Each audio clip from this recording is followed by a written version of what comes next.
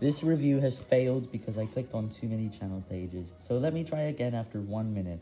I've also just quit the YouTube app, but I am not going to stop using it, even after I hit myself so many times. Anyways, this is not good, it, uh, because it was too much waste.